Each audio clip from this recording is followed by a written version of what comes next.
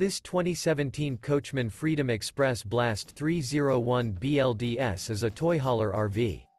It is located in Opelousas, Louisiana, 70570 and is offered for sale by Courvelle's RV.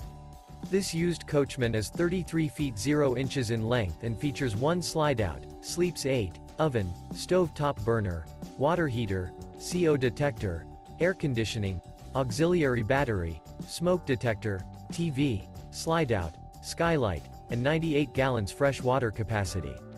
The floor plan layout of this toy hauler features bunk beds, bunkhouse.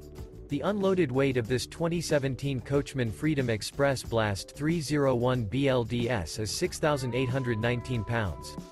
For more information and pricing on this unit, and to see all units available for sale by Courvelle's RV visit RVUSA.com.